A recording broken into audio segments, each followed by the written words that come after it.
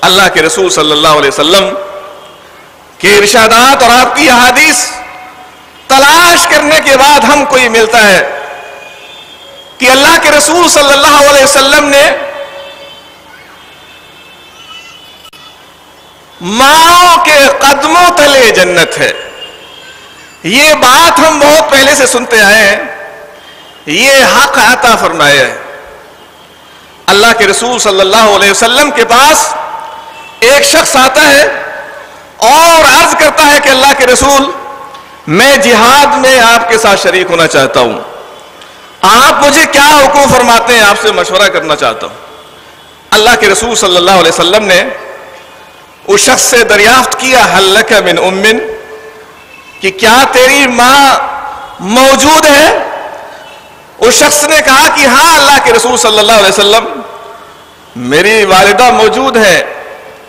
اللہ کے رسول صلی اللہ علیہ وسلم نے اس شخص سے کہا، تحت رجلہا اور دوسری حدیث کے الفاظ ہے فَإِنَّ الْجَنَّةَ عِنْدَ رِجْلِهَا۔ اللہ کے رسول صلی اللہ علیہ وسلم نے اس سے کہا کہ تمہاں تمہیں میں جہاد کرنے کا مشورہ نہیں دوں گا۔ کتنی عظیم عبادت ہے۔ لیکن اللہ کے رسول صلی اللہ علیہ وسلم نے اس شخص کو روک دیا۔ کہا کہ جاؤ ماں کے قدموں کے پاس اور اس کے نیچے جنت تلاش کرو۔ جنت کا کیا مرتبہ ہے، کیا مقام ہے، ہم اس کی حیثیت کو پہچانتے ہیں۔ یہ جنت کیا چیز ہے؟ یہ جنت نبیوں، رسولوں، پیغمبروں، صدیقین، شہداء، صالحین، متقی اور پرہیزگار لوگوں کا بہترین ٹھکانہ ہے جو اللہ رب العزت نے تیار فرمایا ہے۔ یہ اتنا اونچا مقام جنت کو حاصل ہے۔ اس جنت تک پہنچانے کے بہت سارے دروازے ہیں، بہت سارے وسائل ہیں، بہت سارے ذرائع ہیں۔ ان میں سے ایک دروازہ جو جنت کو لے جانے والا ہے۔ جنت کا دروازہ جہاں سے کھلتا ہے، آپ جنت کو سوچیں اور ماؤں کے قدم کو سوچیں کہ ماؤں کے قدم کے نیچے سے یہ جنت کا دروازہ نکلتا ہے۔ یہ مقام ہماری شریعت نے، اسلام، شریعت اسلام نے خواتین کو دیا ہے، ماؤں کو دیا ہے۔ لیکن میں افسوس کے ساتھ کہتا ہوں کہ اگر ہمارے معاشرے میں کوئی مخلوق سب سے کمزور ہو سکتی ہے، تو وہ ہماری ماں ہے۔ لوگ والد سے تو ڈرتے ہیں، یا شرما حضوری میں کچھ خدمت کر لیتے ہیں۔ اس لیے کہ والد میں طاقت ہوتی ہے، قوت ہوتی ہے۔ لیکن ماں بیچاری کمزور ہے۔ اس کو گھر سے نکال دیا جاتا ہے۔ دوسرے بیٹے کے پاس جاتی ہے، وہ نکال دیتا ہے۔ تیسرے کے پاس جاتی ہے، وہ نکال دیتا ہے۔ چوتھے کے پاس بہرحال در بدر ٹھوکریں کھاتی پھرتی ہے۔ ہماری شریعت نے جنت اس کے قدموں کے نیچے رکھی ہے۔ جو لوگ ماں کی نا قدری کرتے ہیں اور ان کے اس حق کو نہیں پہچانتے ہیں وہ اپنے آپ کو جہنم کا مستحق بنا رہے ہیں۔ اور خوش نصیب ہیں وہ لوگ جن کو ماں کی خدمت کرنے کا موقع ملا ہوا ہے۔ کتنے لوگ ہیں۔ آج اگر جنت کا یہ دروازہ تلاش کرنا چاہیں تو ان کے پاس وہ وسیلہ موجود نہیں ہے۔ خوش نصیب ہیں وہ لوگ جن کی مائیں باقاعدہ حیات ہیں، وہ خدمت کر کے جنت ان کے قدموں کے نیچے سے حاصل کر سکتے ہیں۔ دوسرا حق۔ جس میں خواتین کو مردوں پر فوقیت حاصل ہے۔ ماں اور حق خدمت۔ قرآن کی کئی آیات میں اللہ رب العزت نے والدین کا ادب و احترام ان کے ساتھ اچھا سلوک کرنے کا حکم فرمایا ہے۔ اور میں اگر موقع ملے گا تو میں ان حقوق میں ذکر کروں گا اس بات کو جس میں مساوات حاصل ہے۔ لیکن حق خدمت میں ماں کو باپ پر تین گنا فوقیت حاصل ہے، یہ بھی آپ سن لیجیے۔ کیسے حاصل ہے اس کی دلیل کیا ہے؟ اللہ کے رسول صلی اللہ علیہ وسلم کی خدمت نے آ کر ایک شخص سوال کرتا ہے، من احق بے حسن صحابتی؟ اللہ کے رسول صلی اللہ علیہ وسلم سے پوچھتا ہے کہ اللہ کے رسول آپ بتلائیے کہ میری صحبت، میرے حسن سلوک کا سب سے زیادہ حقدار کون ہو سکتا ہے؟ کیا فرمایا آپ نے؟ کالا امک، کہا کہ تمہاری ماں۔ ثم کالا ثم من؟ پھر اس نے پوچھا، اس کے بعد کون زیادہ حقدار ہے؟ ثم قال، ثم امك ثم قال، ثم من؟ ثم قال، ثم امك ثم قال، ثم من؟ قال، ثم ابوك تین دفعہ اللہ کے رسول صلی اللہ علیہ وسلم نے شخص کو کہا کہ تمہارے حسن سلوک کی سب سے زیادہ اگر کوئی شخصیت اور کوئی مخلوق ہو سکتی ہے، تو وہ تمہاری ماں ہے، والدہ ہے۔ اور چوتھی دفعہ اللہ کے رسول صلی اللہ علیہ وسلم نے فرمایا کہ تمہارے باپ بھی حسن سلوک کے مستحق ہیں۔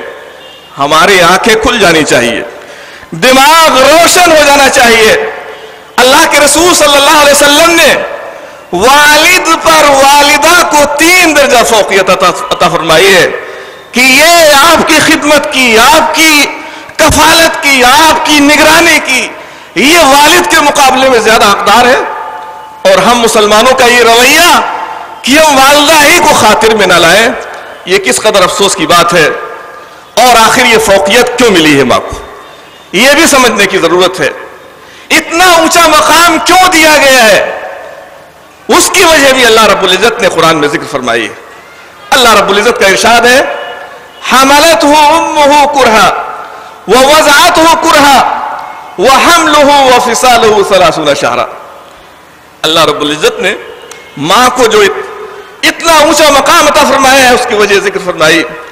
اس لیے کہ اس کی ماں نے اس کو تکلیف اٹھا کر اپنے پیٹ میں رکھا ہے۔ وہ وضاحت ہو کرہا اٹھا کر ہی اس کو جنا ہے پیدا کیا ہے۔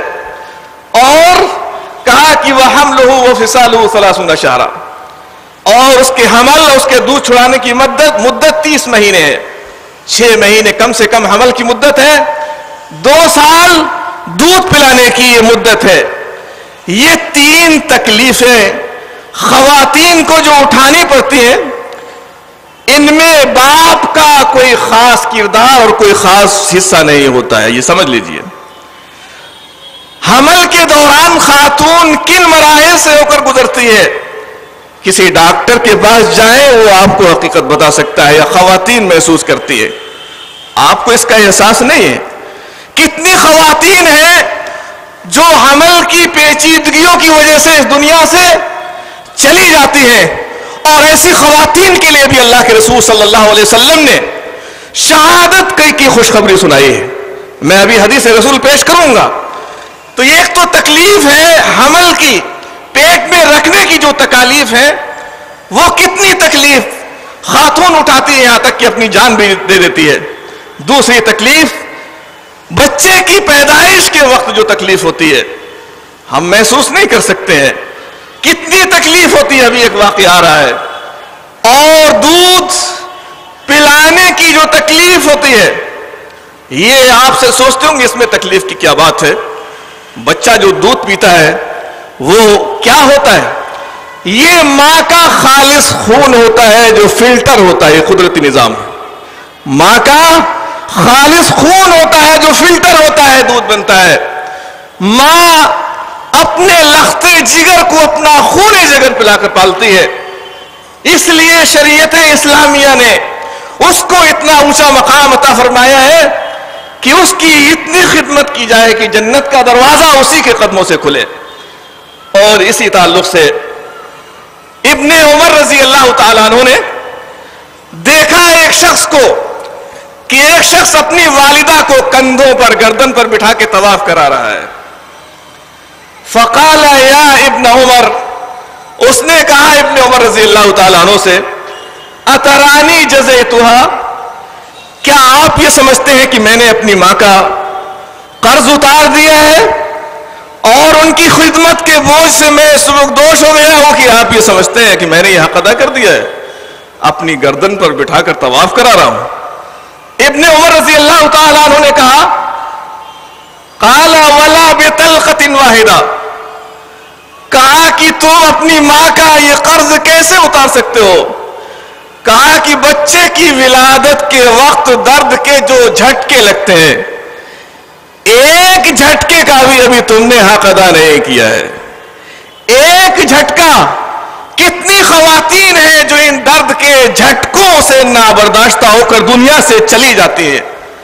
اور یہ شہادت کا درجہ اللہ کے رسول صلی اللہ علیہ وسلم نے ایسی خواتین کو عطا فرمایا ہے۔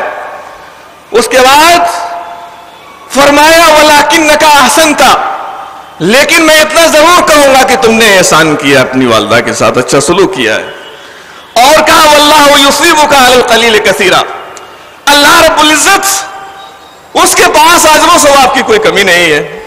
تم نے تھوڑا سا عمل کیا ہے اور اللہ رب العزت تم کو اس کا زیادہ آج عطا فرمائے گا۔ یہ مقام ہے ہماری شریعت کے اندر خواتین کا۔ اور اللہ کے رسول صلی اللہ علیہ وسلم نے فرمایا وَالْمَرَأَتُ تَمُوتُ بِجُمْعٍ فَهِيَ شہید۔ اللہ کے رسول صلی اللہ علیہ وسلم نے مختلف لوگ اتفاقی حادثات میں جان کھو بیٹھتے ہیں۔ ان میں سے شہادت کے یہ درجات ہیں۔ اس خاتون کو بھی ذکر کیا ہے۔ جو حمل کے دوران بچے کی ولادت کے موقع سے اپنی جان دے دے دنیا سے چلی جائے، وہ شہید کا حکم شہید کا درجہ رکھتی ہے۔ یہ مقام اللہ رب العزت نے ہماری ماؤں کو عطا فرمایا ہے۔ ہمیں سمجھ سنجیدگی سے سمجھنے کی ضرورت ہے۔